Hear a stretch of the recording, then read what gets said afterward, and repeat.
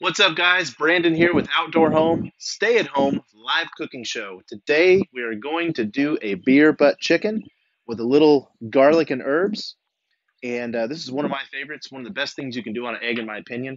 The indirect cooking just takes care of chicken in a way that uh, I don't think you can get a, a result on similar on other uh, grills. So, obviously, we have uh, beer. We're, we're using a a uh, domestic lager. I won't say which one, but you can use your favorite.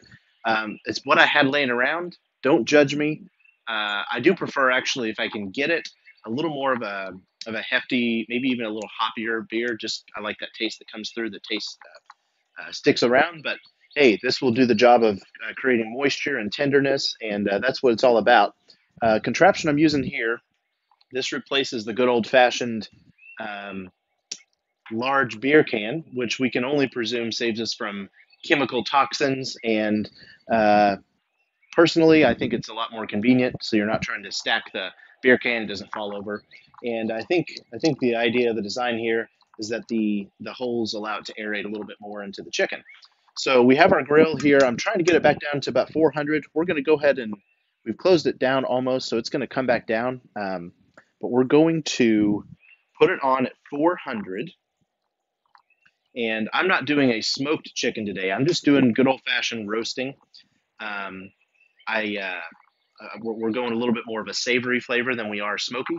Smoking chicken's awesome is also a, obviously a good way to do it, which we would bring it more down to the 250 range and have some smoking woods in there. But we're ripping and roaring at about 400, and uh, we've got our our beverage safely in the receptacle. And so I'm just going to open this up and think what we're going to do, because um,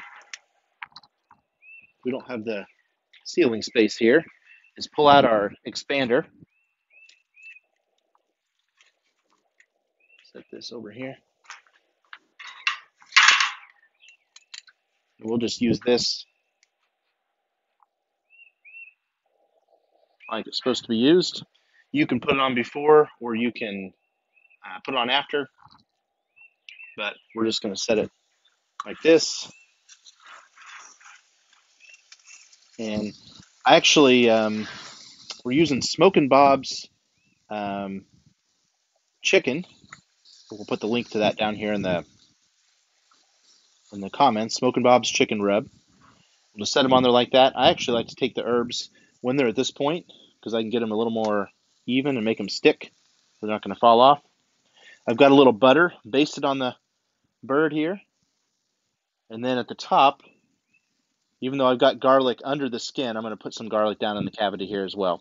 Got a few onion uh, slices up in the cavity as well. And um, that'll give it a nice buttery, brown, crispy uh, skin like we like.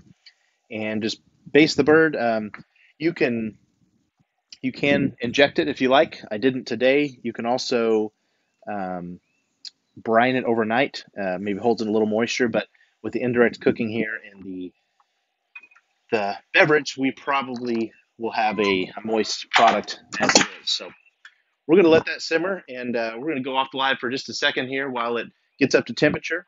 And uh, in the meantime, maybe uh, pull up your favorite basting recipe and get started.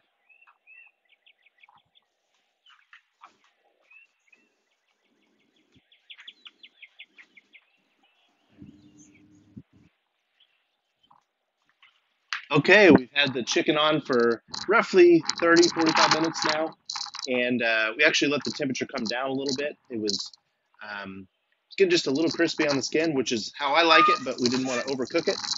And we should be sitting at right about 160 degrees in the middle of the breast there.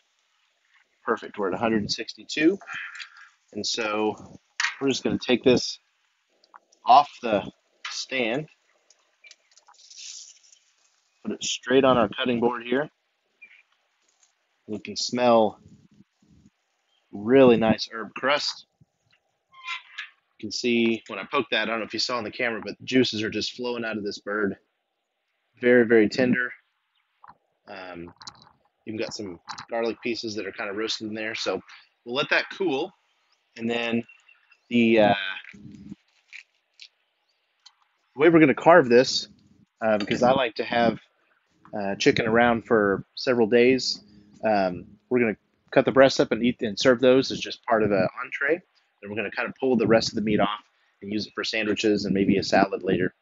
Um, but that's it, guys. A roasted chicken, easy peasy. Uh, promise you, this is better than anything you'll pick up at a grocery store.